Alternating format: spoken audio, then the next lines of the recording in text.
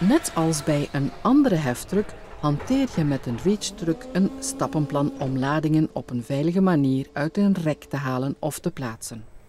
Neem een stapelpositie in door de referentiepunten te gebruiken waardoor je recht voor de last komt te staan.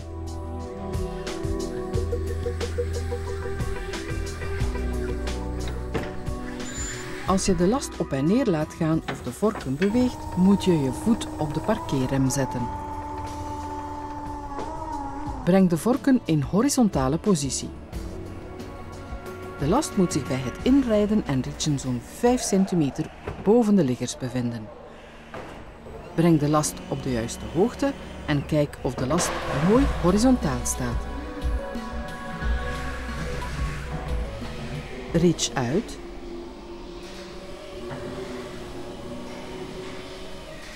En zet de lading neer. Maak de vorken vrij door ze een beetje te laten zakken.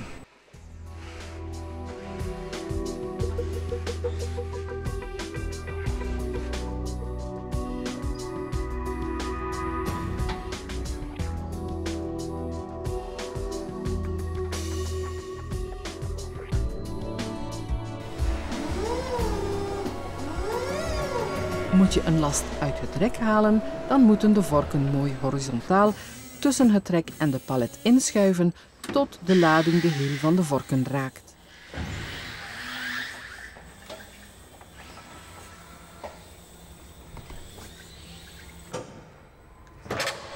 Hef dan de lading zo'n 5 cm op en controleer of de lading mooi horizontaal staat. Tip desnoods bij. Kijk achteruit en rijd achteruit tot de beginpositie.